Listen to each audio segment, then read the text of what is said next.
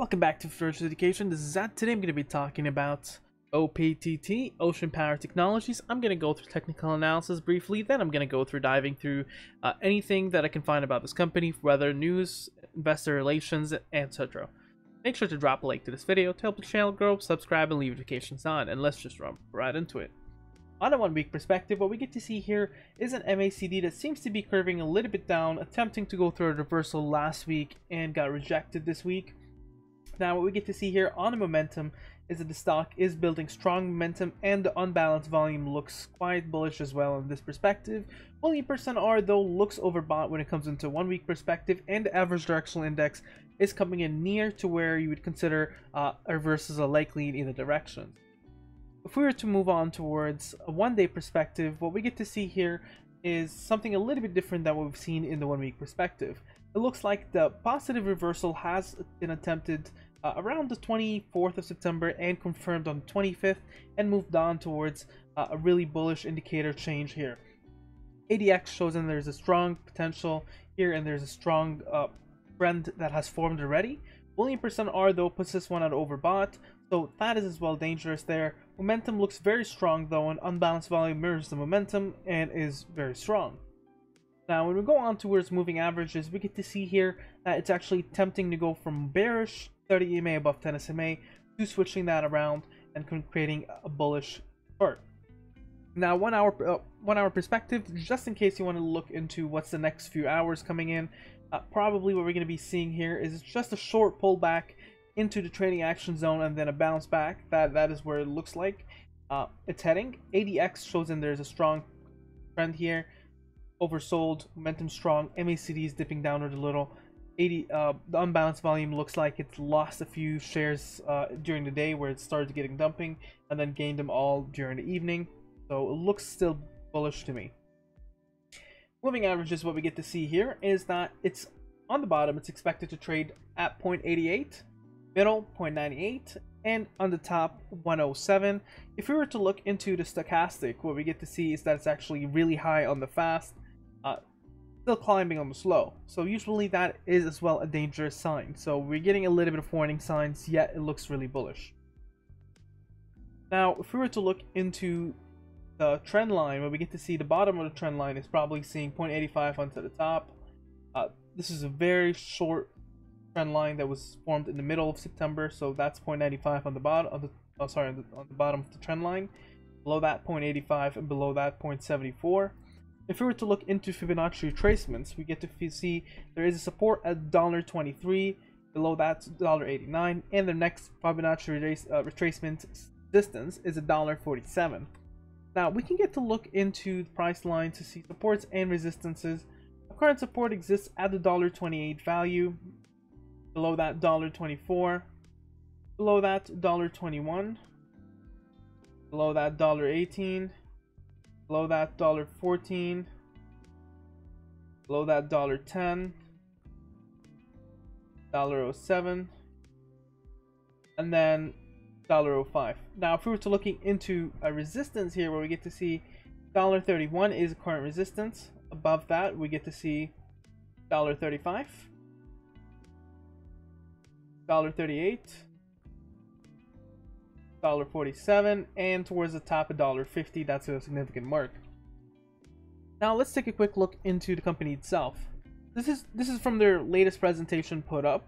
Uh, at the time the market cap was 12.2 million with a revenue of 1.7 million. They had 37 employees including an extensive engineering capabilities. We're going to go down towards where uh, their target for 2020 is which is new product introductions and commercial lease options exercised now, if we were to go towards the technologies, we get to see the PB3 PowerBuoy uh, overview. The floating system generates power from ocean waves.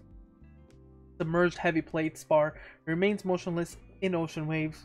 A float rides ocean waves driving electric generator. So basically, it's an onboard lithium battery charger that kind of creates energy from waves. Now we get to see the hybrid PowerBuoy.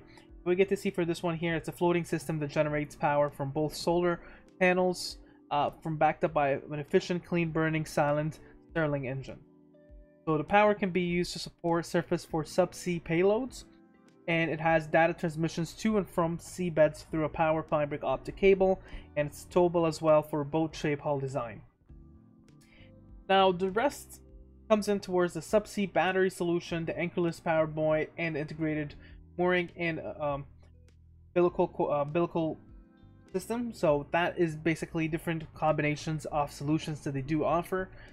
And so when it comes in towards their strategy, they're working with communication, science, research, defense and security, and oil and gas. But you can get to see the three main are science research, science and research, defense and securities, and oil and gas.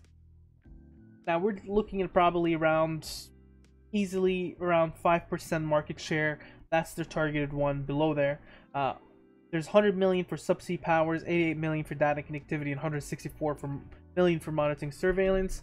Now, illegal and unreported unregulated fishing prevention that can as well be used for the OPT service surveillance solution that they do offer with their uh, I believe this is their Powerbuoy subsurface as well. So it works two in one. So that might be something they're interested in in terms of coming towards uh, military application or surveillance application.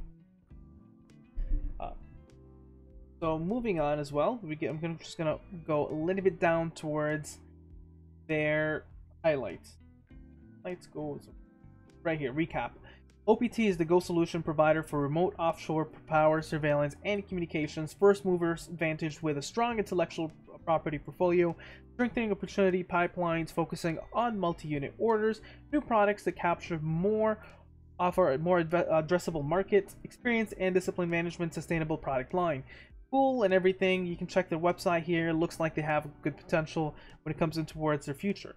Now I'm going to go through quickly SEC filings in order to determine what is there yet to be expected. So there unveils the subsea battery solution. I did mention that. That was all the way back in August, and that was very exciting. Back to uh, mentioning their 132 kilowatt hybrid power buoy and the PB3 power buoy. So we've got that already covered. Um, and then we go on towards institutional buyers. What we get to see on institutional buyers here is uh, a significant increase up all the way in August towards institutional buyers, but it looks like it's radio silent for September. So that is interesting when it comes into our perspective. We get to see as well when it comes in towards their uh, previous filings back in September. They do have an interesting increase of shares. Uh, they entered an agreement for up to 12.5 million shares over 30 months to be sold in terms of offerings. So that's something in the future to be considered off uh, that they do have as well shelf shares put aside. Now they did cut down KPMG. Um, that is an accounting firm for uh, third-party audit, and that was mainly because the com- uh, well, I'm going to read it here. Dismissed the KPMG LLP as the company's independent registered public announcing firm. Effective immediately, the decision by the audit committee was made on the basis of reducing ongoing costs related to the company's annual auditor service.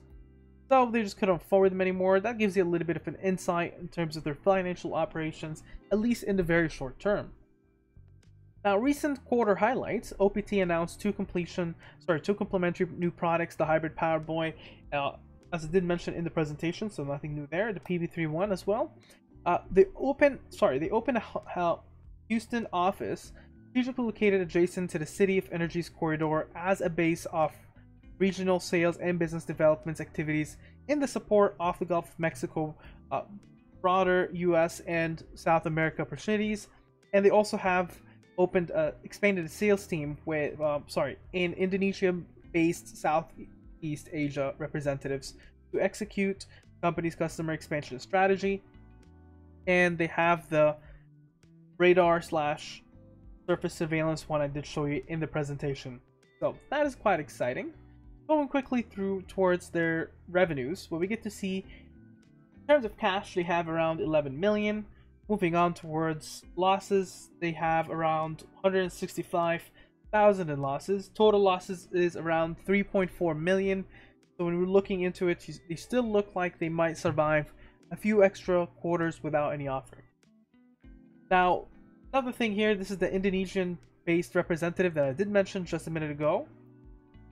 Another thing as well is the expansion to Asia Pacific market with the hiring of um, George H. Kirby, and that again goes towards Indonesia's Asia Pacific model.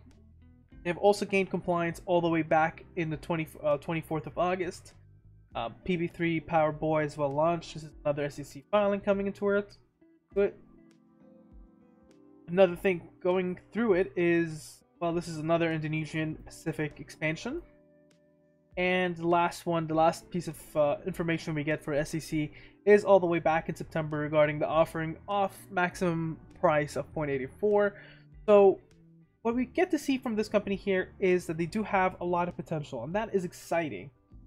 We get to see though, as it does look really bullish on the chart base, what we get to see here is that there is a possibility of an offering, but what I would say is it might be worth getting getting in for the gains as you get to see it has dropped significantly from where it was below before and it might be a really nice either scalp or short swing but in terms of long term in the head futures perhaps in a year I do expect an offering to happen in the longer term. What do you think about this sticker? Make sure to mention down in the comments below. Share subscribe and like. You have a wonderful day